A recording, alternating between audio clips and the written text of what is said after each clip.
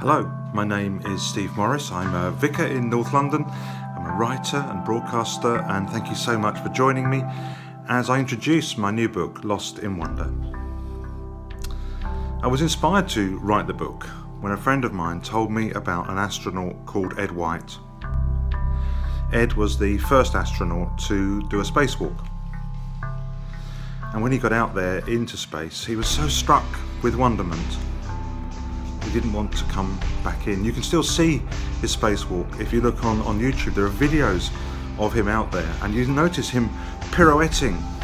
He was like a ballet dancer, lost in the wonderment of weightlessness, the wonderment of seeing the earth and how beautiful she is.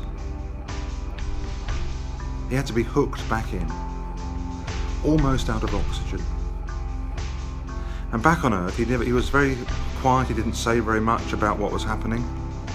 And eventually one day he said, Well, when I was out there, I began to understand what my Sunday school teachers had meant about original sin, the weight that we carry. Because there, there at last, I felt free.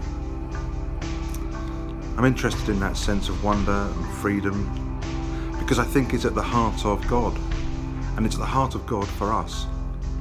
And my book explores wonderment, helps us to be, get re, re-engaged with wonderment, to understand it, to kind of live it again, and to make it part of our faith.